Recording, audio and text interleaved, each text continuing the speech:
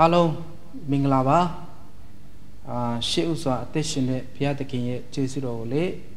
ထပ်မံပြီးမှဒီနေ့ပြန်လဲချီးမွမ်းချင်ပါတယ်အသက်ရှင်တဲ့ဘုရားသခင်ရဲ့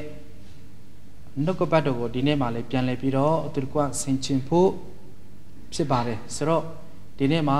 အနေနဲ့အရေးမှာရောက်ရှိတဲ့အယုံကြည်သူဓမ္မမိတ်ဆွေညီကိုမောင်နှမအားလုံးကိုယေရှုနာမအဖြစ်နှုတ်ခွန်းဆက်ပါတယ် ကျွန်တော်တို့အနေနဲ့ရဲ့ဆိုတဲ့အခါမှာတချို့ကတခြားတခြားနိုင်ငံမှာရှိတဲ့ယုံကြည်သူတွေကိုပြောပြတာဖြစ်တယ်ဆိုတော့တခြားဘက်မှာရောက်တဲ့ယုံကြည်သူဓမ္မမိတ်ဆွေညီကောင်မောင်နှမအားလုံးဒီကနေ့ဒီနှုတ်ကပတ်တော်အပြည့်ဆင်ခြင်တဲ့အရောက်စီတိုင်းပေါ်မှာဘုရားရှင်ရဲ့ကောင်းချီးမင်္ဂလာဤထက်မကတာ၍သုံးလောင်းပါစေကြောင်းဥစွာကျွန်တော်ပြောပြလိုတာဖြစ်တယ်ဆိုတော့အချိန်တိုင်းအားလုံးကို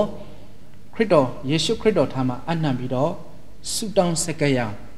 အသက်ရှင်ကောင်းမြတ်သောဘုရားဒီနေ့အတွက်ကိုရော့ကိုကျေးဇူးတင်ပါတယ်ဒီနေ့နေ့သိကိုကိုရောဖန်ဆင်းကောင်းကြည့်ပေးတယ်လို့ဒီနေ့နှုတ်ပတ်တော်အဖြစ်ဆင်ခြင်မဲ့အရောက်စီတန်းရဲ့နှလုံးသားအသက်တာထဲမှာဝိညာဉ်တော်ဘုရားသည်စကားပြောလက်ကောင်းကြည့်ပေးလက်ဤနှုတ်ကပတ်တော်အဖြစ်ကျွန်တော်ရဲ့နှလုံးသားထဲမှာဤထက်မကတာ၍မင်္ဂလာရှိသောသူဟုခေါ်တော်သူဖြစ်စေပါမည်အကြောင်းယေရှုခရစ်တော်ဘုရားရဲ့မြတ်သောမဟာနာမကိုမြင်ပြုလက်ဆုတောင်းဆက်ကပ်အနံ့ကြပါသည်ဖပါရှင်အာမင် အာအထူးပဲဝန်တာတာဖြစ်တယ်ဒီနေ့မှလည်းပြန်လည်ပြီးမှညီကိုမောင်နှမတွေနဲ့အတူဘုရားရှင်ရဲ့နှုတ်ကပတ်တော်ကိုပြန်လည်ဝင်ငါသက်သေခံခွင့်ပေးတဲ့ထိုဘုရားရှင်ရဲ့နာမတော်ဒီကပါစစ်စစ်ပုံကြည်ပါစေဒီနေ့လောကမှာကျွန်တော်တို့အသက်ရှင်တဲ့အခါမှာအခုဆိုရင်တော့ COVID-19 ကြောင့်ပေါ့နော်တကဘာလုံးကတုံလှုပ်ပြီးတော့အရာ6ချဆရာကောင်းတယ်ကျွန်တော်တို့လက်ရှိနေတဲ့နေရာမှာဒီမှာတကဘာလုံးမှာဖြစ်ပြနေတဲ့ပြဿနာဖြစ်ပါတယ် ဆိုတော့ဒီ COVID-19 ကိုစုမတောင်းဘူးလားစုတောင်းပါတယ်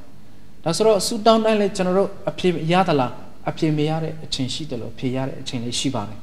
ဆိုတော့ဒီနေ့ကျွန်တော်ပြန်ပြောချင်တယ်ဒီကာလမှာခေတ်ကာလကြီးကရှုပ်ထွေးတာဖြစ်တယ်ဒီလိုခေတ်ကာလရှုပ်ထွေးတဲ့ကာလမှာပင်လင်ဒီနေ့ကျွန်တော်တို့စင်ချင်ဖို့ကျွန်တော်တို့ဒီနှုတ်ကပတ်တော်အဖြစ်မိမိရဲ့အသက်တာထဲမှာစင်ချင်ပြီးမှအသက်ရှင်ဖို့ဒီနှုတ်ကပတ်တော်ဟာအင်မတန်မှအရေးကြီးတာဖြစ်တယ်ဆိုတော့ကျွန်တော် ဥစွာပြောပြလိုတာဖြစ်တယ်ဆိုတော့ဒီနေ့မှာအထုတပြည့်ကျွန်တော်တို့အသက်တာထဲမှာပေါ့နော်ဘာလိုအပ်တယ်လဲဆိုရင်တော့နှုတ်ကပတ်တော်လိုအပ်တာဖြစ်တယ်ကျွန်တော်တို့မြင်တဲ့အတိုင်းမြင်ဖို့မဟုတ်ဘူးဖခင်ကခွေခတ်မှတ်တတ်တဲ့ဖခင်မြင်စေခြင်းတဲ့အတိုင်းကျွန်တော်တို့မြင်ပြီးတော့ဖခင်ရဲ့အလိုတော်ကိုရှာတော်သူဖခင်မျက်နှာကိုရှာတော်သူဖြစ်ဖို့လိုတာဖြစ်တယ်ကျွန်တော်တို့ generation next music တွေကောင်းစားဖို့ကျွန်တော်တို့ဒီနေ့မှာကျွန်တော်ရဲ့တာဝန်ဖြစ်တယ်ကျွန်တော်တို့ကဒီ music သိတွေဖြစ်တဲ့ဒီအလောစွာ လွင်ခဲ့တဲ့ကျွန်တော်ရဲ့ဘိုးဘွားပြီးပင်ကျွန်တော်ရဲ့မိခင်ဖခင်ခေတုံးကဖះကိုမသိဘောเนาะဒီလိုပဲခရိယန်ဘောင်ထဲမှာပဲနေပြီးတော့ဒီလိုအသက်ရှင်နေဒါပေမဲ့ဖះရဲ့နှုတ်ကပတ်တော်ကိုကျွန်တော်မသိတဲ့အတွက်ကြောင့်ဒီနေ့ကြံရတာဖြစ်တယ်ဒီနေ့မျိုးစစ်တစ်တွေကဖះကိုသိရှိနားလေဖို့ဒီနှုတ်ကပတ်တော်ကိုဆင်ခြင်ဖို့လိုတယ်နှုတ်ပတ်တော်ကိုကြားနာဖို့လိုတယ်နှုတ်ပတ်တော်ကိုမျိုးစစ်ကြေးဖို့လိုတယ်ဒီနှုတ်ပတ်တော်အဖြစ်ဆင်ခြင်သောသူကဒီနေ့အသက်တာမှာတာရွေထူးခြားတာကိုမြင်တွေ့ရမှာဖြစ်တယ် ဆိုတော့ဒီနေ့မှလည်းပြန်လည်ပြီးတော့နှုတ်ပတ်တော်ကိုသူကဆင်ခြင်ဖို့ကျွန်တော်ရွေးချယ်ထားတဲ့နှုတ်ကပတ်တော်ကဓမ္မရစဝင်စတုထဆောင်ခန်းကျစ်20အပိုင်ငယ်နှစ်3ကနေကျွန်တော်ဖတ်ပါမယ်ဆိုတော့ကျွန်တော်လို့တလို့ရဖတ်ပါမယ်เนาะဆိုတော့ဓမ္မရစဝင်စတုထဆောင်ခန်းကျစ်20အပိုင်ငယ်နှစ်3 4 5 6အထိဖတ်ပါမယ်ဟေစကိမင်းတီလေး ထယံတို့မျက်နှာလှည့်ရွယ်အိုးထောက်ရဖျားအကျွန်ုပ်သည်ရှစ်တော်၌တက်ဆာဆောင်းလင့်စုံလင်သောစိတ်နှလုံးနှင့်ကျင့်၍နှစ်သက်တော်မူသည့်အတိုင်းပြုကြောင်းကို အုပ်မိတ်တော်မူပါအကျွန်ုပ်တောင်းပန်ပါ၏ဟု အလွန်ငိုကြွေ့လက်ထာဝရဘုရားကိုဆုတောင်းလေ၏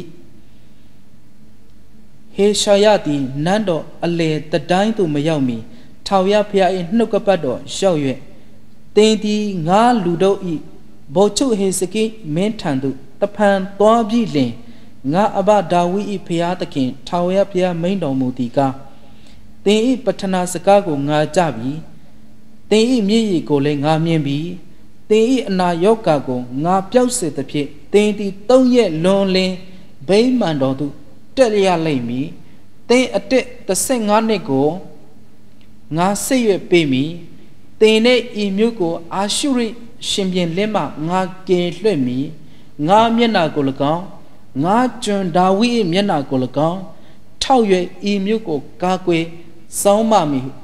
အရာကိုပြောလို့ဟုမိန့်တော်မူ၏တဲ့ကျွန်တော်တို့နောက်တစ်ပိုက်ကလေးဖတ်ရအောင်နောက်တစ်ခုကရာဇဝင်ကျုဒုတိယဆောင်အခန်းကြီး28အပိုက်ငယ်22ကနေကျွန်တော်ကျန်တယ်ဖတ်ပါမယ် sorry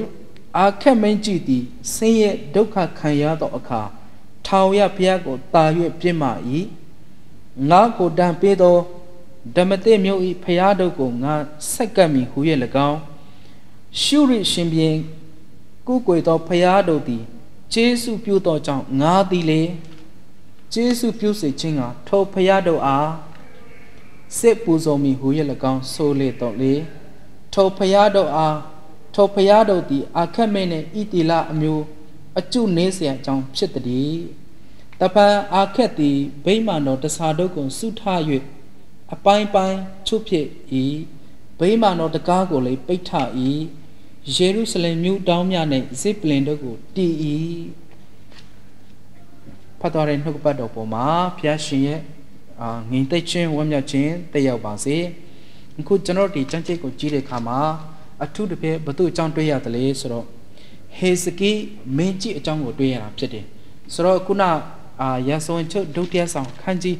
28ကိုဖတ်တဲ့အခါမှာတော့ဘသူအကြောင်းကိုတွေ့ရတယ်လဲဆိုတော့ဒီဟေစကီမင်းကြီးရဲ့ခမီးတော်လို့ခေါ်တဲ့အဖေအကြောင်းသူကအာခက်မန်ဖြစ်တယ်အာခက်မန်ကဖယားနဲ့ဆန့်ကျင်ဖက်ဖြစ်တယ်ဒါမဲ့သူ့ရဲ့သားတော်ကဖယားနှစ်သက်သောအရာကိုပူဇော်တော်သူဖြစ်တယ် ဖျားကြိုက်တဲ့အလုပ်ကိုလုပ်တော့သူဖြစ်တယ်ဆိုတာကျွန်တော်တို့တမန်ကျမ်းစာထဲမှာတွေ့ရတယ်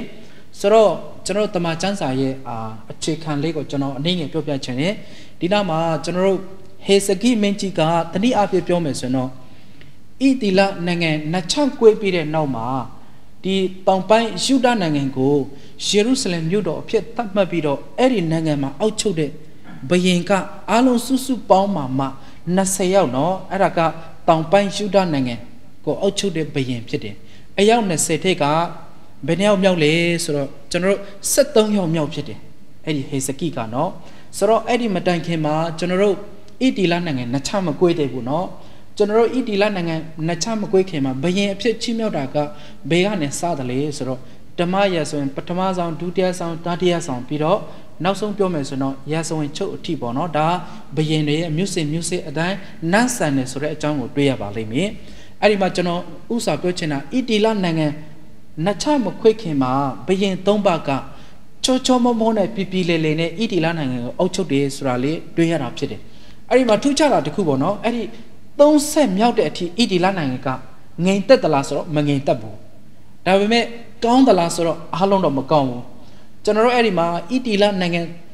ကျွန်တော်တို့ဣတီလတွေကသူတို့ဣတီလဘယင်ဖြစ်ဖျားရှိကိုတောင်းတဲ့ခါမှာ နှစ်ပေါင်းများများစွာနဲ့ဘယံမရှိမင်းမဲမရှိဒီလုံနဲ့အသက်ရှင်တဲ့ခါမှာဣတီလာတွေကတောင်းတဲ့အတိုင်းဖယားကပေးတဲ့ခါမှာဘယင်ကိုဥဥဖြားဖြားဘယင်ရှော့လူကိုပေးထားတယ်ဆိုတာကျွန်တော်တွေ့ရတယ်နော်အဲ့ဒီခါမှာကျွန်တော်ရှော့လူကိုဖယားကခွေးခတ်မှတ်တပ်ပြီးတော့ကောင်းကြည့်ပေးတဲ့ခါမှာရှော့လူရဲ့အသက်တာထဲမှာစစ်လည်းတိုက်ရတယ်ဘယင်လည်းလောက်ရတယ်နော်စစ်လည်းတိုက်ရတယ်ဘယင်လည်းလောက်တယ်ဆိုတော့ သူ့ရဲ့ဘဝမှာမလွယ်လဘူးနော်ဒါပေမဲ့ဖခင်ရဲ့စကားဖခင်ရဲ့အတန်ဖခင်အလိုတော်မနဲ့တတ်တော့အရာကိုပေဆံပြီးတော့အသက်ရှင်တဲ့ခါမှာရှောလုရဲ့ကိုရှာမွေလာဗိတ်တိတ်တဲ့ဖခင်ရှိကလာတဲ့ဗိတ်တိတ်ချင်းကပြောင်းပြီးတော့ဘသူ့ကိုရောက်သွားလေဆိုတော့ဟောဘာမှမဟုတ်တဲ့သူထင်းចောင်းသားဖြစ်တဲ့ဒါဝိယေရှုရဲ့သားဒါဝိရှိမှရောက်သွားတယ်ဒါဝိရှိမှရောက်သွားတော့ဒါဝိကတနည်းအားဖြင့်ပြောမယ်ဆိုရင်ဆဲလက်တက်ရတယ် ဘယင်လိုက်လောက်ရတယ်တနည်းအားဖြင့်ပြောမယ်ဆိုရင်ဒါဝိဒ်ကတဝက်သူ့ရဲ့ဘဝတဝက်ကစစ်တိုက်တာဖြစ်တယ်တဝက်ကဘာလုပ်တယ်လဲဆိုတော့ဘယင်လောက်တယ်ဆိုတော့စစ်တိုက်ရဲ့နဲ့ဘယင်လောက်ရဲ့နဲ့စစ်တိုက်ရဲ့နဲ့ဘယင်လောက်ရဲ့နဲ့သူကအဲ့လိုသိရှင်တာဖះတနေရာထဲမှာမထပါဘူးတခါလေဒုက္ခရောက်လိုက်နဲ့မရောက်လိုက်နဲ့ဘုရားဒီလိုထားတယ်ဘယင်ဆိုရင်ငါတော့ตายရနေမှာပဲအစင်ပြေနေမှာပဲတော့မဟုတ်ဘူးဒါပေမဲ့ဘုရားဒီနေရာမှာခွေးခမ်းမတ်တတ်တဲ့ခါမှာနှစ်ပေါင်း40လုံးလုံး ဒါဝိမင်းကြီးဖဲမှာဖះရှိတယ်ဆိုတာတွေ့တယ်။နောက်ဒါဝိခေကုံပြီးတော့ဖះကသူ့အဖြစ်ဘသူရှိမှာပိုက်တိုက်တယ်လေဆိုတော့ဒါဝိရဲ့သားတော်ရှောလမုန်စီမှာဖះကခွေးခတ်မှတ်တတ်ပြီးတော့ဘယင်အဖြစ်ဖះကပိတ်သိပ်ပေးတယ်။ဒီလိုပိတ်သိပ်ပေးတဲ့အခါမှာကျွန်တော်တို့အထုတစ်ဖြစ်ဟဣတီလနိုင်ငံနတ်ချမကွေးခင်မှာအဲ့ဒီဘယင်၃ပါးရဲ့လက်ထက်မှာစစ်ပွဲအများဆုံးကဘာတူလဲဆိုတော့နံပါတ်1ပထမဥဥဖြားဖြားဣတီလဘယင်ဖြစ်တဲ့ ရှောလုလက်ထက်မှာအင်မတန်မှစစ်တိုက်ရပါတယ်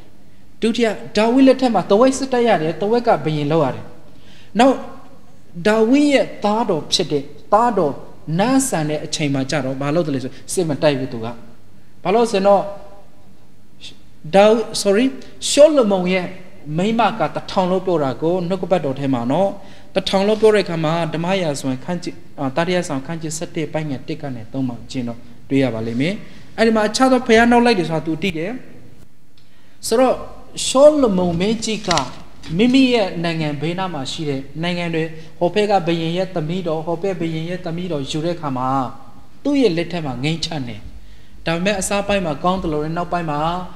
သူ့ရဲ့ဘဝကြဆုံးပြီးတော့နောက်ဆုံးပြောမယ်ဆိုရင်ဖះကပေါ့နော်နောက်ဆုံး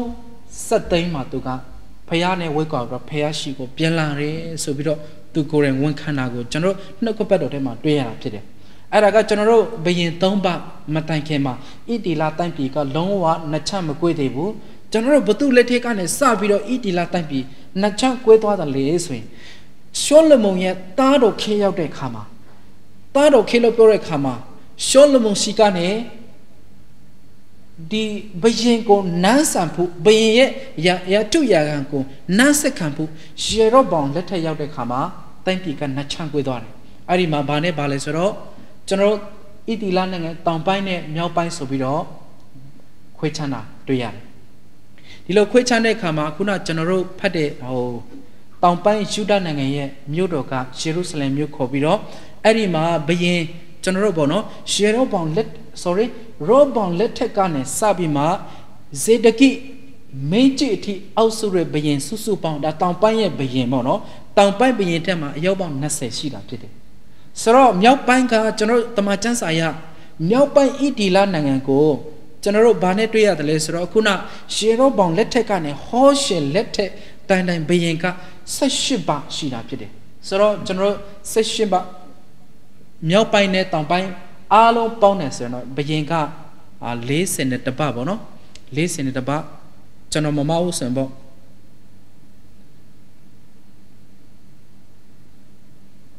sorry အာ38ပါပေါ့နော်38ပါမှာကျွန်တော်တို့ဒီရှောလုကနေရည်တွဲပြီးရှောလုဒါဝိရှောလမုန်အားလုံးတွက်မယ်ဆိုရင်40နဲ့တပါးဖြစ်တယ်ဣတိလတနိုင်ငံလုံးမှာပေါ့နော်ကျွန်တော်မမဟုတ်ဆိုအားလုံးဘယင်စုစုပေါင်းက40နဲ့တပါးဆိုတာဒီတမိုင်းအရာကျွန်တော်တို့သိရှိရတာဖြစ်တယ်နော်ဆိုတော့အခုနကျွန်တော်ပြောတဲ့အခါမှာအထုတပည့်မြောက်ပိုင်းဣတိလနိုင်ငံကိုအုပ်ချုပ်တဲ့အခါမှာ တောင်ပိုင်းဣတီလာနိုင်ငံကိုလည်းအောက်ချုပ်ဖို့အတွက်ဖျားစီမံခွေးခန့်မှတ်တတ်တဲ့ဘယင်ထဲမှာ73ယောက်မြောက်တဲ့ဟေစကိဘယင်ဖြစ်တယ်သူ့အကြောင်းဖြစ်တယ်ဆိုတော့တနေ့ကျတော့ခုနကျွန်တော်ဖတ်တဲ့ဓမ္မရာဆိုရင်စတုထဆောင်ခန်းကျစ်20အပိုက်ငယ်တစ်ကနေကြည့်တဲ့ခါမှာတဲ့ဟေစကိမင်းကြီးအောက်စုတဲ့ကာလမှာဒီဣတီလာနိုင်ငံတောင်ပိုင်းကိုအောက်စုတဲ့ခါမှာတဲ့ဟေစကိမင်းကြီးကဘာဖြစ်လာတယ်လဲဆိုတော့သူ့ရဲ့အတ္တတာမှာကျွန်တော်တို့ သေနာဆွေ့တယ်လို့တမန်ကျမ်းစာအဖေတွေ့တာဖြစ်တယ်ဆိုတော့သူ့ရဲ့ခမိတော်ဣတီလနိုင်ငံကိုအောက်ချုပ်တဲ့ခါမှာခမိတော်ကအာခတ်လို့ခေါ်တယ်ခုနကျွန်တော်ဖတ်တဲ့ရာဇဝင်ချုပ်တဲ့ကပေါ့နော်အဲ့ဒီခမိတော်အောက်ချုပ်တဲ့ကမှာသူ့ရဲ့အဘဒါဝိတော်အောက်ချုပ်တဲ့ကဲ့သို့ဖခင်ကိုမကြောက်ပဲနဲ့အခြားတပါးရှိကယူသူစင်သူကိုကုကွယ်ပြီးတော့ဖခင်မကြိုက်တဲ့ဒုစရဲထဲမှာနှိမ့်မြော့တဲ့ခါမှာ အဲ့ဒီသူ့ရဲ့ခမည်းတော်ဖြစ်တဲ့အာခက်ကတည်သွားတဲ့အခါမှာယေရုရှလင်မြို့မှာတကြိုပေမဲ့ယေရုရှလင်မြို့မှာရှိတဲ့ဘယင်တွေရဲ့တင်းကြိုင်ထဲမှာမတကြိုပဲနဲ့ဖြစ်တယ်လို့ပဲတကြိုတယ်ဆိုတာဣတိလသမိုင်းနဲ့ယူဒသမိုင်းမှာမှတ်တမ်းတင်လဲရှိဆိုပြီးတော့ကျွန်တော်တို့တွေ့ရတာဖြစ်တယ်ဆိုတော့ဒီနေ့ဒီနေ့မှာကျွန်တော်ပြောချင်တယ်ဒါနဲ့တနေ့ကျတော့ဟေစကိမင်းကြီးကသူ့ရဲ့အနာကတေနာဆွေးတယ်လို့ပြောတဲ့ခါမှာ တေနာဆွေးတဲ့ယောဂလို့ပဲကျွန်တော်တို့ပြောရမှာပေါ့နော်ဆိုတော့တနည်းအားဖြင့်တေတဲ့ယောဂဆိုတာအခုကျွန်တော်သိတယ်လို့ဆိုရင်တော့ AIDS ယောဂမဟုတ်အထူးတပေးကင်ဆာကင်ဆာမှာသွေးကင်ဆာရှိတယ်ကင်ဆာလည်းကင်ဆာပေါင်းစုံရှိတယ်ပေါ့နော်တေသွားမယ်ဆိုရင်အဲ့ဒီယောဂဆွေးရင်တော့တေဖို့ကတော့တေချတယ်လို့ပဲနော်ဒါပေမဲ့ကောင်းတဲ့လူရှိမယ်အများစုကတော့ကင်ဆာယောဂနဲ့သေတာတွေအများကြီးပါလောကမှာနော်ဆိုတော့အခုဒီမှာကျွန်တော်ပြန်ကြည့်တဲ့အခါမှာဟေ ဟေစကိမင်းကြီးကသေနာဆွေးပြီးမှသူ့ရဲ့အောက်ချုပ်တဲ့ကာလမှာ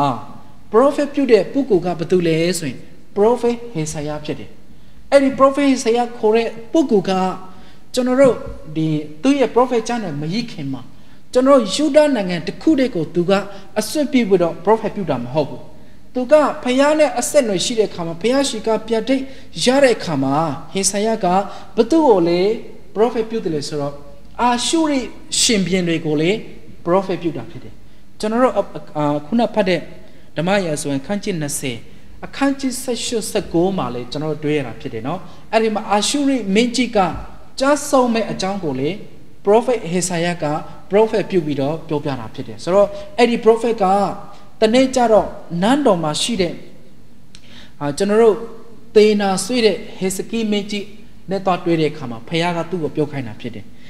ဆိုတော့သူကပြောတယ်ဟေဆာယကလာပါတဲ့ဖခင်သခင်ကတဲ့ကျွန်တော်ရှိမှဒီလိုပြောတယ်တဲ့ဒါကြောင့်အခုကိုယ့်ရဲ့အိမ်မုံကိစ္စအကုန်လုံးကိုစီရင်ပါဆိုပြီးတော့အဲ့ဒီမင်းကြီးလို့ခေါ်တဲ့ဟေစကီမင်းကြီးပေါ့နော်ဟေစကီမင်းကြီးလို့ပြောတဲ့အခါမှာတနည်းအားဖြင့်ဟေစကီဆိုတာကဘိုလ်ချုပ်ပဲဣတီလနိုင်ငံမှာအများစုကဗိုလ်ချုပ်ဗိုလ်ချုပ်ကနေဘယင်ဖြစ်လာတယ်နော်ဆိုတော့သူတို့တွေဒီ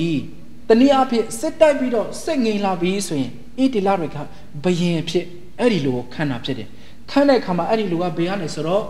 ဘယင်မင်းမျိုးမင်းတွေစင်စစ်ခမီးတော်ပြီးရင်ခမီးတော်တည်သွားရင်သားတော်ကိုစစ်ခံရသားတော်ပြီးရင်နောက်ထပ်သားတော်ကိုစစ်ခံရတာဖြစ်တယ်အဆက်ဆက်ဘယင်ခံတဲ့အခါမှာအဲ့ဒီခမီးတော်အခက်လို့ခေါ်တဲ့ခမီးတော်အခက်တည်သွားတာ ਨੇ နောက်ဆုံးမှာဘာတူလဲဆိုတော့ဟေစကိမင်းကြီးကသူ့ရဲ့ခမီးတော်ယထုကိုထိနန်းဆိုင်ရတာဖြစ်တယ် အဲ့ဒီခေတ်ကာလရောက်တဲ့ခါမှာ तू ကသေနာယောဂဆွဲပြီးတော့ဟေဆာယကဒီလိုပြောပြတဲ့ခါမှာတဲ့ तू အရာစိတ်တက်ကြပြီးတော့လေဟေစကိမင်းကြီးကဒီလိုမျိုးထိုင်အောင်ဖက်မှာလှဲပြီးတော့မျက်နှာမူပြီးတော့လေသူကပြောလေဆိုတော့ဖះကိုအိုးထာဝရဖះတဲ့အကျွန်ုပ်ဟာရှစ်တော်မှာလေသစ္စာရှိတယ်စုံလင်သောနှလုံးနဲ့အကျင့်ကိုကျင့်တယ်ကိုရောနှစ်သက်တဲ့အတိုင်းပဲကိုရောကိုဆုတောင်းတယ်ဆိုပြီးတော့ကျွန်တော်တွေ့ရတယ် ဆိုတော့အပိုင်းငယ်လေးမှာပေါ့နော်ကျွန်တော်ကြည့်တဲ့အခါမှာအပိုင်းငယ်3ကနေပြန်ကြည့်တဲ့အခါ तू ကဘာပြောလဲဆိုတော့စုံလင်သောနှလုံးနဲ့ကျင်းပြီးတော့နှစ်သက်တော်မူတဲ့အတိုင်းတဲ့ကျွန်တော်ကိုအောက်မဲ့ပါကျွန်တော်တောင်းပန်ပါတယ်တဲ့ဆိုပြီးတော့ငိုကြွေးပြီးတော့ဖခင်သခင်ကိုတော့ဆုတောင်းနေတာဘာလို့လဲဆိုတော့ဘယင်ဖြစ်တဲ့လူကဒီလောက်ထိရထုရခံရှိပြီးတော့သေနာဆွေးပြီးတော့သေသွားရမယ်နော်နေ့မှာရှိတဲ့အိမ်တုံအင်သားတွေနေကပြင်ဆင်ရမယ်ဆိုပြီးတော့ prophet ဆရာပြောတဲ့ခါမှာအဲ့ဒီအတန်ကိုသူ့ရဲ့နှလုံးသားထဲမှာရှောက်ပြီးတော့အယားဝက်နဲ့ကြေကွဲပဲလေးလှန်ပြီးတော့နာယံဖက်မှာမျက်နှာမူပြီးတော့အိုးထာဝရဘုရားငါကစုံလင်ကိုရောစုံလင်စေတော့အရာကိုလည်းလှုပ်တယ်ကိုရောဆိုပြီးတော့တောင်းပန်ပြီးတော့ငိုယိုပြီးတော့ဆုတောင်းတဲ့ခါမှာတဲ့အဲ့ဒီချိန်မှာ prophet ဟေဆာယကသူ့ရဲ့နန်းတော်ရဲ့အလေရောက်တဲ့ခါမှာဖះရှိကစကအတန်ပြန်ကြတယ်နော်အခုနပရမကြားတဲ့အတန်ကတော့ ဖေဆာယကပြောပြတယ်ဟေစကိမင်းကြီးကတေရတော့မယ်ဆိုတော့ဖះရှိကလာတဲ့အတန်ကိုသူပြောပြတယ်နောက်ဒုတိယအတန်ကသူကနန်းတော်ရှုပ်တယ်ဒါပေမဲ့အဲ့ဒီဘယင်ရှိကနေပြန်လှည့်လာပြီးတော့ဒုတိယအကြိမ်နန်းတော်ရဲ့အလေတန်ရောက်တဲ့ခါမှာဖះရှိကဒုတိယအတန်ကိုကြားတဲ့ခါမှာအဲ့ဒီအတန်ကဘာလဲဆိုတော့သူ့ကိုပြောပြတယ်ဟေဆာယကနော်ကျွန်တော်ဖတ်ပါမယ်ပိုင်ငယ်၄မှာဟေဆာယသည်နန်းတော်အလေတတိုင်းတော်သူမရောက်မီထောင်ရဖျိုင်နှုတ်ကပတ်တော်ရောက်ရွယ်သည် သင်သည်ငါလူတို့ဤဘိုလ်ချုပ်ဟေစကိမင်းထံသို့တဖန်သွားပြီလင်သင်အဘဒါဝိဤဖျားသခင်ထောင်ရဖျမိန်တော်မူသည်ကသင်ဤပထနာစကားကိုငါကြပြီသင်ဤမြေရည်ကိုလည်းငါမြင်ပြီ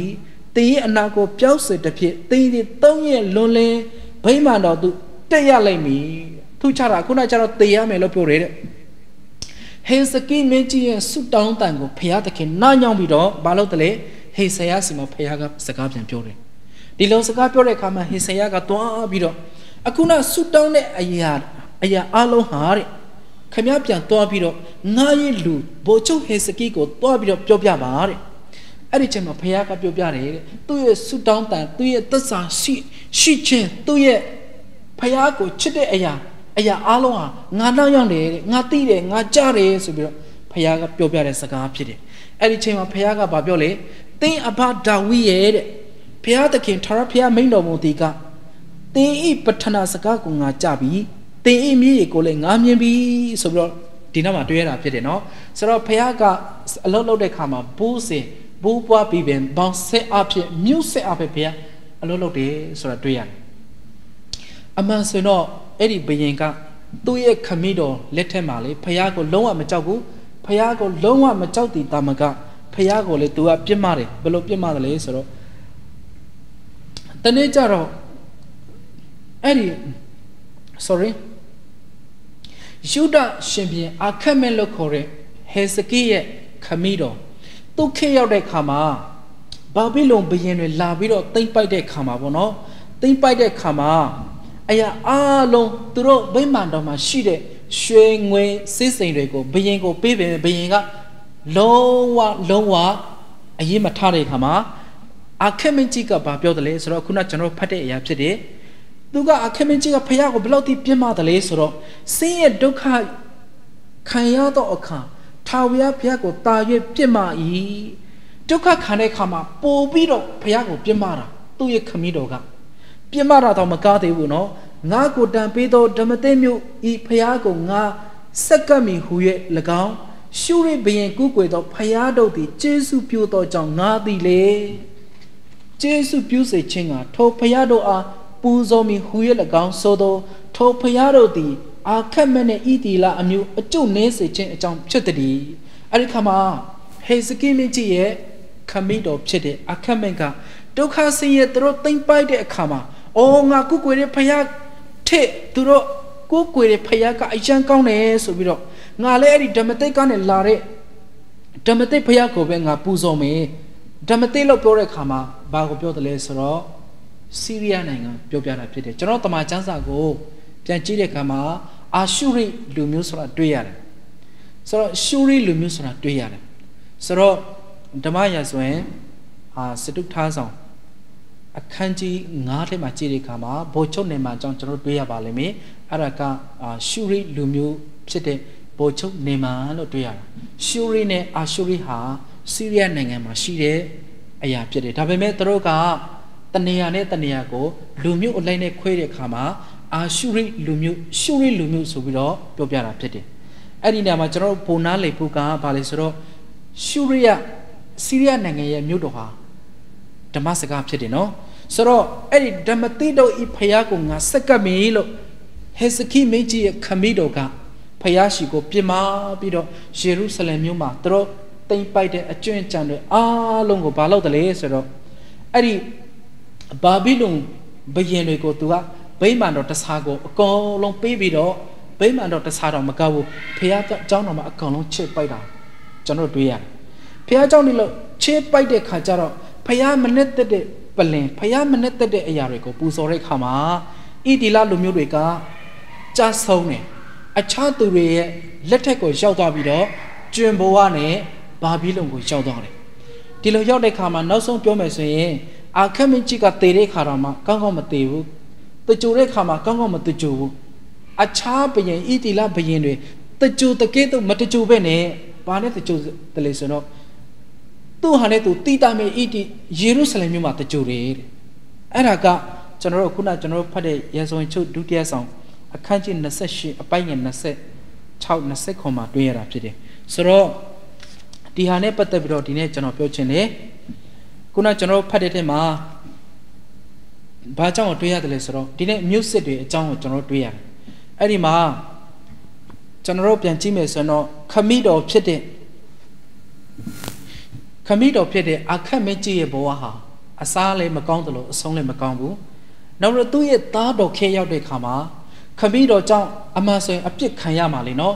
ဒါပေမဲ့အပြစ်ခံရမဲ့သူကဘာလို့လဲဆိုသားတော်သားတော်ဆိုပေမဲ့ဖះအလိုတော်ဖះနှစ်သက်တဲ့စစ်ပလင်ကိုတီးပြီးတော့ဖះကိုအရာကြောက်ရွံ့တဲ့ခါမှာ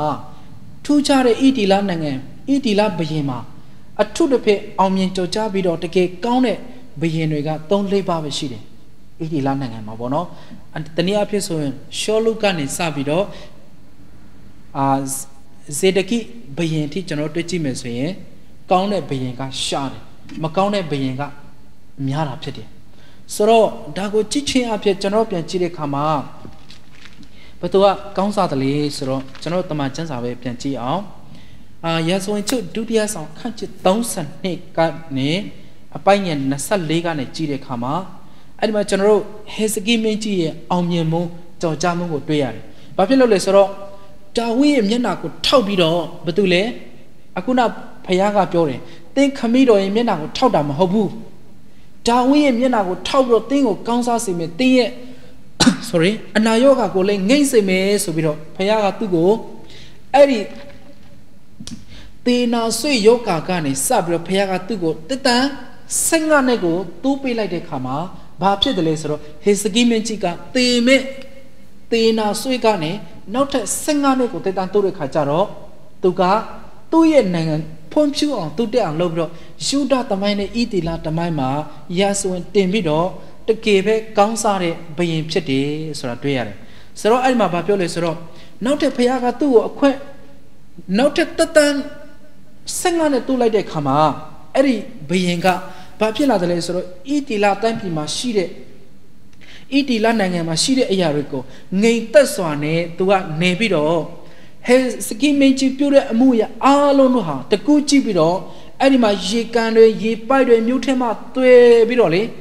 အရာစေပင်ตาရဝါပြောင်းအီတီလာနိုင်ငံဟာကောင်းစားတယ်ဆိုတာဒီဘရင်အပြည့်တွေ့ရတာဖြစ်တယ်အမှဆို तू ကခမီးတော်ခဲမှာလည်းမကောင်းဘူးနော်ခမီးတော်ခဲမှာမကောင်းဘူးဖခင်ကအပြစ်ပေးတယ်သူ့ရဲ့ခမီးတော်ကိုပေးတဲ့အတိုင်း तू တေးရတယ်ခံရတယ် ကျင့်ချင်းကုန်ခံရတယ်ဆိုတော့ဒီနောက်မှာနောက်တစ်ချက်ကဘာလဲဆိုတော့ကျွန်တော်တို့ခုနဖတ်တဲ့ရာဇဝင်ချုပ်ဒုတိယဆောင်ခန်းကြီး30နဲ့အပိုက်ငယ်24ကိုကြည့်တဲ့အခါမှာအဲ့ဒီကာလမှာသူကနုံနာဆွေးပင်မဲ့ဖခင်ကိုအရန်ဆုတောင်းတဲ့အခါမှာထူးဆန်းတဲ့တကုကိုရတယ်ဆိုပြီးတော့ရာဇဝင်ကျွတ်ဒုတိယဆောင်ခန်းကြီး30နဲ့အပိုက်ငယ်24မှာတွေ့ရတာဖြစ်တယ်။ဒါနဲ့ တနေ့ကျတော့ဟေစကိကမိမိခံတဲ့ကျေးဇူးတော်နဲ့အတူပေါ့နော်ထောင်လွှားတဲ့စိတ်ရှိတယ်တဲ့။ထောင်လွှားတဲ့စိတ်ရှိပေမဲ့မာမာနရှိပေမဲ့ငါလက်ထက်မှာကောင်းစားတယ်ခမီးတော်ထက်မှာမကောင်းစားဘူးခမီးတော်ထက်မှာဖရားရဲ့ကြင်ချင်းကိုခံရတယ်လို့ခံမဲ့သူ့လက်ထက်မှာဖရားကောင်းစားခြင်းကိုအခွင့်ပေးတဲ့အခါမှာအဲ့ဒါဒီလေသူ့ရဲ့ခမီးတော်ရဲ့မျက်နှာကိုထောက်ပြီးတော့ဖရားကကောင်းစားအောင်လုပ်ပေးတာမဟုတ်ဘူးเนาะဒီနားမှာတတိထားစေခြင်းတယ်ဘာကြောင့်လဲဆိုတော့ ဒါဝိရဲ့မျက်နှာကိုထောက်ရှုပြီးတော့သူကကောင်းစားစေတယ်လို့ပြောတယ်ဒီလိုပြောတဲ့အခါမှာသူ့ရဲ့ဟေစကီလက်ထက်မှာကဘယ်လောက်ထိချမ်းသာပြီးတော့စစ်စင်ဥစ္စာကြွေဝတယ်ဆိုတော့အဲ့ဒီဟေစကီမင်းကြီးအုပ်စုတဲ့ကာလမှာကောင်းအတရရှိတဲ့ရွှေတဲ့ငွေတဲ့ကြောင်းမြက်တွေနန်းတာမျိုးတွေကိုဖះကလေကောင်းချီးပေးပြီးတော့ဒိုင်းလွာနှမျောဆယ်ကောင်းတဲ့တဆာဘန္နာတိုက်တွေအကုန်လုံးကိုစပကြီးကစားစီကစားစပြေကစား တရိစံတင်းကုတ်ကစားတိုးချံကစားဖះကတာယာဝါပြောအောင်ဖះကောင်းချီးပေးပြီးတော့အဲ့ဒီနိုင်ငံမှာဖះသည်ဘသူ့ကိုကောင်းချီးပေးလေဟေစကီမေဂျီကိုကောင်းချီးပေးတယ်ဆိုတာတွေ့ရတယ်ဆိုတော့ကျွန်တော်တို့ဒီနေ့အာ music တွေ generation ကျွန်တော်တို့တတိထားစေခြင်းတယ်ကျွန်တော်တို့ဘုရားဘီဘင်ခေမှာဖះမသိရင်လေးနေပါစေကျွန်တော်တို့ရဲ့အကိုခေမှာဖះမသိရင်လေးနေပါစေကျွန်တော်တို့ဟိုတုန်းကခေ ဖះမသိရင်လေးနေပါစေအခုကျွန်တော်တို့ခေမှာဖះသိတော့သူကဖះသိတော့သူကအဲ့ဒီအပြစ်ဒုစိတ်ကနေရှောင်ပြီးဆိုရင်အဲ့ဒီအပြစ်ဒုစိတ်ထဲမှာမနေတော့ဘူးဆိုရင်ဖះကတာရွေးကျွန်တော်တို့ကိုကောင်းချီးပေးမှာဆိုတာသိချပါတယ်ဆိုတော့ကျွန်တော်တို့တမန်ကျမ်းစာထဲမှာကြည့်တဲ့အခါမှာအပြစ်ဒုစိတ်အကြောင်းကိုတွေ့ရတယ်ရှင်ယောဟန်ခရစ်ဝင်ကျမ်းအောင် sorry ရှင်ယောဟန်ဩဝါဒစာပထမဆောင်ခန်းကြည့်တဲ့ပိုင်းကြီးရှစ်ကိုကြည့်တဲ့အခါမှာကိုအပြစ်မရှိဟုငါတို့ဒီဆိုလဲကိုကိုကို လှည့်ဖြတ်ကြ၏တဲ့ငါတို့ ਨੇ သစ္စာတရားမရှိဆိုပြီးတော့တမန်ကျမ်းစာထဲမှာတွေ့ရတယ်ဆိုတော့တခါတလေကျွန်တော်တို့အပြစ်ဒုစိတ်ဆိုတာဘာလဲအပြစ်ဆိုတာဘာလဲအပြစ်ဆိုတာဖះမနဲ့တတော့အရာကိုခေါ်တယ်ကျွန်တော်တို့ဒီဖះမနဲ့တတော့အရာထဲမှာနေသလားဆူတောင်းရင်းနဲ့ဒုစိတ်ထဲမှာနေသလားဖះကိုချင်းချင်းနဲ့ဒုစိတ်ထဲမှာနေသလားဖះကိုပဲကျွန်တော်ယူတည်ယူတည်နဲ့ဒုစိတ်ထဲမှာနေသလားဒီနေ့မျိုးစစ်တွေအရေးကြီးတာဖြစ်တယ် ကျွန်တော်တို့ဒီနေ့သားစိန်ပေါင်စိတ်ကျွန်တော်တို့မျိုးစိန်မျိုးစိတ်ကောင်းကြည့်ခံစားဖို့ဖះကောင်းကြည့်ပေးတဲ့မျိုးစစ်တွေဖြစ်ဖို့ဘာလို့အပ်တယ်လဲဆိုတော့ကျွန်တော်တို့အပိုက်ငယ်ကိုကိုကြည့်အောင်ရှင်ယောဟန်ဩဝါဒစာပရမတ်ဆောင်ခန်းကြည့်တဲ့အပိုက်ငယ်ကိုကိုကြည့်အောင်ကိုအပြစ်တို့ကိုဖော်ပြတောင်းပန်လေငါတို့အပြစ်များတို့ကိုလွှတ်၍ဒူးစိတ်ရှိသမျှနဲ့ကင်းစင်စေခြင်းကဖျားသခင်၏တစ္ဆာတရားနဲ့၎င်းဖြောင်းမတ်ခြင်းတရားနဲ့၎င်းပြီးဆုံးတော်မူ၏ ကျွန်တော်ဒီထဲမှာကြည့်တဲ့အခါမှာကိုကိုကိုအပြစ်မရှိဘူးလို့မဟုတ်ဘဲနဲ့ငါတို့အပြစ်ရှိသမျှကိုတောင်းပန်နေဆိုရင်တဲ့ဒူးစိအပြစ်နဲ့ကင်းလွတ်မယ်ဆိုပြီးတော့ဖခင်ကဒီနေ့ကျွန်တော်ကိုဂတိပေးထားတာဖြစ်တယ်ဆိုတော့ကျွန်တော်ဘိုးဘွားပြီးပင်ခင်မှာဖခင်ကိုပြစ်မှားတယ်ကျွန်တော်ဘေးလေးယုံညာလေးယုံကိုကျွန်တော်မသိဘူးကျွန်တော်ကြိုက်တယ်လို့အသက်ရှင်နေကြိုက်တယ်လို့အသက်ရှင်တဲ့အခါမှာကျွန်တော်ဒီ music တက်တဲ့အထီတောင်ပါပါသွားတာဖြစ်တယ်အဲ့ဒီဒူးစိကဆိုတော့အဲ့ဒီဒူးစိကပါသွားတဲ့အခါမှာ ကျွန်တော်ရဲ့ဒီနေ့ဖះကိုချစ်တဲ့နှလုံးသားနဲ့ဒီအရာကိုဝန်ချတောင်းပန်နေဆိုရင်ငါတို့အပြစ်ရှိသမျှကိုခွလို့မယ်ဆိုတော့ဖះကတမန်ကျမ်းစာထဲမှာအတိလဲပေါ်ပြပေးတာဖြစ်တယ်ဒီနေ့ကျွန်တော်ပြောချင်တယ်ကျွန်တော်ဘယ်မှာပဲရောက်ရောက်အမေရိကမှာပဲရောက်ရောက်ဩစတြေးလျမှာပဲရောက်ရောက်မြန်မာပြည်မှာပဲနေနေမလေးရှားမှာပဲနေနေထိုင်းမှာပဲနေနေအိန္ဒိယမှာပဲနေနေရှိတဲ့အရေးကနဲ့ဖះကိုကြောက်တဲ့အသက်တာနဲ့အသက်ရှင်ဖို့လိုတယ်ဒါမှကျွန်တော်ရဲ့မျိုးစင်ပေါင်ဆက် လာမယ့် next generation မျိုးဆက်တဲ့တဲ့ဖះကောင်းချီးပေးမှာဖြစ်တယ်ဒီနေ့ကျွန်တော်ကောင်းချီးမခံစားတဲ့အကြောင်းကဘာကြောင့်လဲကျွန်တော်တို့အဖိုးအဖွား sorry ပူပွားပြည်ပင်ကိုအပြစ်မတင်ပါနဲ့တော့ဒီနေ့ကျွန်တော်တို့ကိုနိုင်ကဖះနဲ့မိတ္တာရဖွဲ့ပြီးတော့တူးစိတ်ထဲမှာမနေဘဲနဲ့ဖះရဲ့အလိုတော်ကိုရှာပြီးတော့ဖះနှစ်သက်တော်စစ်ပလင်ကိုတီးမယ်ဆိုရင်ကျွန်တော်တို့ဒီနေ့နေတဲ့နေရာမှာ တာယာဝါပြောပြီးတော့ဖះကကောင်းချီးပေးမယ်ဆိုတာသိချတယ်နော်ဖះရဲ့ဂတိဟာဘယ်တော့မှပြက်လည်းမရှိဘူးဒါမဲ့ကျွန်တော်တို့ကသာဂတိတော်ကိုပြက်တာဖះရဲ့ဂတိကိုတော့ဘယ်တော့မှပြက်လည်းမရှိဘူးဒါကြောင့်ကျွန်တော်တို့ဖះကောင်းချီးပေးခြင်းတော့သူကိုပေးတာမဟုတ်ဘူးကောင်းချီးမပေးခြင်းတော့သူကိုမပေးတာမဟုတ်ဘူးဖះသူ့စကားကိုနားထောင်ပြီးတော့ဒူးစိတ်ထဲမှာမနေပဲဖះမနဲ့တက်တော့အရာတွေကိုဖះကရှောင်တော့သူရဲ့အသက်တာကိုဖះကောင်းချီးပေးတာဖြစ်တယ် တခါလေကျွန်တော်တို့ရဲ့မျက်စိနဲ့ကျွန်တော်တို့နားနဲ့ကျွန်တော်တို့အတွေ့ခေါ်နဲ့ကျွန်တော်တို့မြင်တဲ့လောက်နဲ့ပဲတိုင်းပြီးတော့အသက်ရှင်တဲ့ခါမှာဖခင်ရဲ့ကောင်းချီးပေးခြင်းဒီဒီ next generation အခုကျွန်တော်တို့ရဲ့ခေတ်ကာလမှာကြော်ကြော်သွားတာဖြစ်တယ်နော်ဆိုတော့ကျွန်တော်ပြောချင်တယ်ဒီနေ့ music တဲ့ဖခင်ကောင်းချီးပေးတော့သူဖြစ်ချင်တယ်ဆိုရင်အခုနကျွန်တော်တို့ဖတ်တဲ့ဘယင်အာ12ရောက်မြောက်အခက်မင်ကဲ့သို့ ဖះကိုဆန့်ကျင်တဲ့သူမဟုတ်ဘဲနဲ့ဖះရဲ့အိမ်တော်မှာရှိတဲ့စစ်စိန်တွေကိုရောင်းတယ်ဖះလူမဟုတ်တဲ့ဖះရဲ့မကြိုက်တဲ့အရာရွတ်သူဆင်းသူတွေကိုလည်းကုကွယ်တဲ့အခြားတစ်ပါးလူတွေကိုလည်းကုကွယ်ပြီးတော့အသက်ရှင်တဲ့ခါမှာနောက်ဆုံးပြောရရင်အေဒီလာသမိုင်းနဲ့ယူဒသမိုင်းမှာသူတွေတည်သွားရတော့ရှင်ဘီရင်တွေနဲ့အတူတူမတကြူပဲနဲ့တည်တန်းတကြူရတယ်ဆိုပြီးတော့ရဲဆိုမှာရေးထားတယ်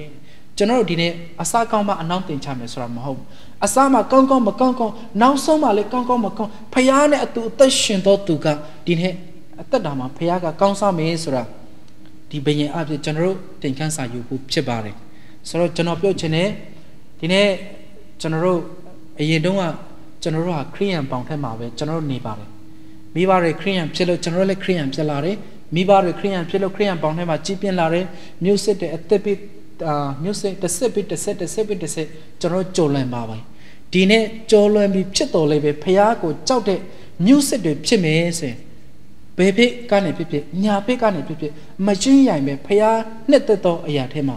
အသက်ရှင်မယ်ဆိုရင်ဒီနေ့ဖះကမြို့စစ်အပိကောင်းချီပေးတော့ဖះဖြစ်တယ်ဆိုတော့မိမိဟာဒီနေ့အပြစ်ဒုစိရှိသမျှကိုဝန်ချတောင်းပန်ဖို့ဒီနေ့ကျွန်တော်တို့လိုအပ်တယ်ဒါကြောင့်ကိုကအပြစ်မရှိဘူးလို့ကိုကိုကိုထင်နေဆိုရင် ကိုကိုလှည့်ဖြားတော့သူဖြစ်တယ်တဲ့ဒါကြောင့်ဒီလိုလှည့်ဖြားတဲ့အခါငါတို့ဟာသစ္စာမရှိတော့သူဖြစ်တယ်ဆိုပြီးတော့ရှင်ယောဟန်ကဒီမှာပြောပြတာဖြစ်တယ်ဒီနေ့ကျွန်တော်တို့ဝန်ချဖို့ဖြစ်တယ်အာအထုတစ်ပြည့်ဒီ COVID-19 ကိုအမြဲတမ်းကျွန်တော်တို့အပြစ်တင်လေးရှိတာပေါ့နော်ဘာဖြစ်လို့ဖခင်ကဒီ COVID-19 ကိုပေးတယ်လဲဘာဖြစ်လို့ယုံကြည်သူဖြစ်တော့ဖြစ်စေတယ်လဲဘာဖြစ်လို့ကျွန်တော်တို့ကဖခင်ကိုလည်းဆုတောင်းတာပဲဘာလို့မကောင်းစေတယ်လဲဆိုပြီးတော့တချို့တချို့သောသူတွေက ဒီလိုမြင်တာဖြစ်တယ်ဒါပေမဲ့ဖခင်ကဒီကိုဗစ်ကာလရောက်ဖို့အတွက်ဒီကိုဗစ်ရောဂါကိုရောက်စေဖို့အတွက်ကဘာမှာလူဦးရေတန်ပေါင်း4000ကျော်ထဲမှာပေါ့နော်တတန်းလို့ဖခင်ကဖြောင်းမတ်တော့သူဖြစ်တယ်ဆိုရင်မဖြောင်းမတ်တော့သူတန်ပေါင်းထောင်ကနန်းနဲ့ရှိတော့သူအပေါ်မှာဖခင်တော့ဒဏ်ခတ်ကိုခတ်နေအောင်ပါပဲဒါကြောင့်ဒီကနေ့ဖခင်ကကျွန်တော်တို့ဒီလိုအမြင်နဲ့မမြင်စေချင်ဘူးဖြောင်းမတ်တော့သူကဖြောင်းမတ်တော့သူကဖခင်ကအလုံးလုံးမှာဖြစ်တယ် ဒါကြောင့်ချစ်တော်မိတ်ဆွေဒီနေ့ကျွန်တော်တို့ဒီဟေစကိအသက်တာအဖြစ်ပေါ့နော်သူ့ရဲ့ခမိတော်လက်ထက်မှာဖះကိုပြစ်မှားတယ်ဖះကိုကြောက်ခိုင်းတယ်ဒါပေမဲ့သားတော်လက်ထက်ရောက်တဲ့ခါမှာဣတီလနိုင်ငံဟာစေပင်တာယာဝါပြောပြီးတော့ဖះကဟေစကိအဖေကောင်းချစ်ပေးပြီးတော့ကောင်းစားတယ်ဆိုတာကျွန်တော်တို့ဣတီလနိုင်ငံမှာဣတီလနိုင်ငံရဲ့ရဲဆိုမှာရည်ထားလေးရှိတယ်ဆိုပြီးတော့တွေ့ရတာဖြစ်တယ်ချစ်တော်မိတ်ဆွေတွေနဲ့မိမိရဲ့အသက်တာထဲမှာလေကျွန်တော်တို့မျိုးဆက်ထဲမှာဖះကောင်းချစ်ပေးခြင်းတယ် ဖះတာရွေးဘုန်းတော်ထင်ရှားခြင်းတယ်ဖះတာရွေးကျွန်တော်တို့ ਨੇ အတူပါရှိခြင်းတယ်ဒါပေမဲ့ကျွန်တော်တို့ကအပြစ်ဒုစိတ်ထဲမှာနေတယ်ဆိုရင်ဖះကျွန်တော်တို့ ਨੇ အတူပါရှိခြင်းမှာမဟုတ်ဘာဖြစ်လို့ဆိုတော့ဖះကအပြစ်သားကိုချစ်ပေမဲ့အပြစ်ကိုတော့မုန်းတယ်ဖះကပြန်ပြောပါမယ်အပြစ်သားကိုချစ်ပေမဲ့အပြစ်ကိုတော့မုန်းတယ်ဖះနဲ့အပြစ်နဲ့အတူတူနေလို့မရဘူးခွဲခြားတယ်ဒါကြောင့်ဖះသည် ဒီနဲ့တန်ရှင်တော်ဖះဖြစ်တယ်လို့ကျွန်တော်တို့မျိုးဆက်တဲ့တွေလေဒီနဲ့တန်ရှင်တော်သူတွေအသက်တာအဖြစ်အသက်ရှင်မယ်ဆိုရင်တော့ဖះကဒီထက်မကပါတော့ကောင်းချီးပေးမယ်ဆိုတာဒီနဲ့အာရှင်ပြန်ဟေစကိရဲ့အသက်တာအဖြစ်အနေငယ်တသေးခံကျင်တာဖြစ်ပါတယ်ရောက်စီတဲ့ပုံမှာဖျားရှင်ကောင်းချီးပေးပါစေသူပဲဝန်တာတာဖြစ်တယ်ဒီနေ့